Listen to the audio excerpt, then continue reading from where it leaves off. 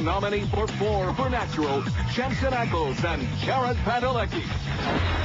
When we return, WB stars Chad Michael Murray, Jensen Ackles, and Jared Padalecki. You know, the uh, the King Kong acceptance speech ran a little long, and uh, we no longer have time for all of the Critics' Choice Awards to uh, be presented on the air. A couple of the Penguins have fallen on their seppuku swords. So here, to announce the uh, three music categories are the stars of the hit WB series Supernatural. These, of course, are Jensen Ackles and Jared Padalecki.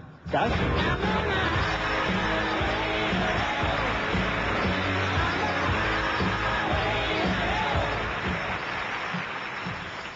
There's long been a successful relationship between music and the movies. Check out the album charts today, and you'll see many current films represented. But let's see which ones take home the prizes. The Critics' Choice Award for Best Soundtrack goes to Walk the Line.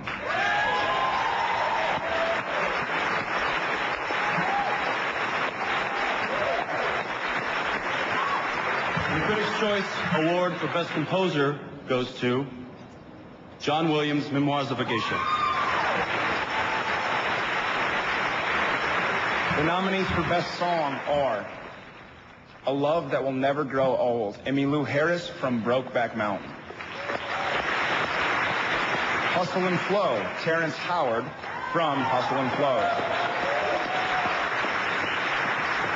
Same in Any Language, I-9 from Elizabethtown. Seasons of Love, Tracie Thoms, Jesse L. Martin, and cast of Rent. And Traveling Through, Dolly Parton from Transamerica.